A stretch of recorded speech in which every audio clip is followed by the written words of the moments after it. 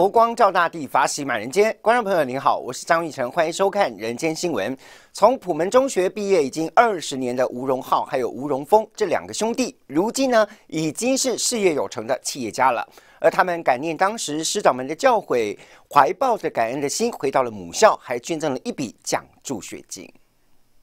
哎，来来来，我我们我们公司啊，这个集团公司全部动员。哇，谢谢谢谢。从台北，嗯，桃应该是桃园啦，做做便当的，嘿嘿，那个总经理陈总，哎，这是我们的一把手。哎，好，哦，哎，那个常常常进哦，常进，他现在是常温厂的总厂长。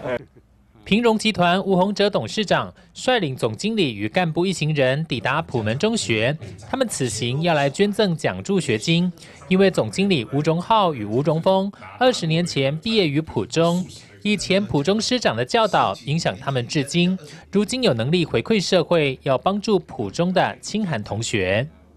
呃，我已经毕业了大概二十年了。那这二十年真的好久没有回来了，第一次又回来母校。当然我知道之前的母校是在这个佛光山，哦，在佛光山。那呃，也有不同的感觉哈。虽然说是一个新的家，但是整个过程当中，我觉得还是很有家的感觉啊。生生活上就是会保持有一些好的一个习惯，因为以前从呃在宿舍老师的一个教导，然后学校老师这个教导，其实有很多。简简单单的一个小习惯会影响到自己的生活，所以在做事工作上面的话会更有效率。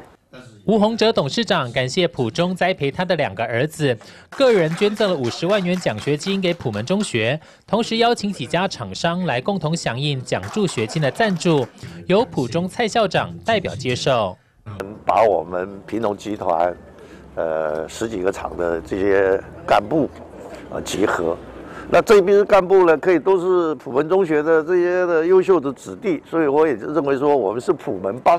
他非常感念，他在最辛苦创业期间，孩子能够在普中就读，让让他很安心的工作，因此今天特别到率领他的两位公子以及啊公司的干部啊到学校做一个感恩行，捐赠奖学金。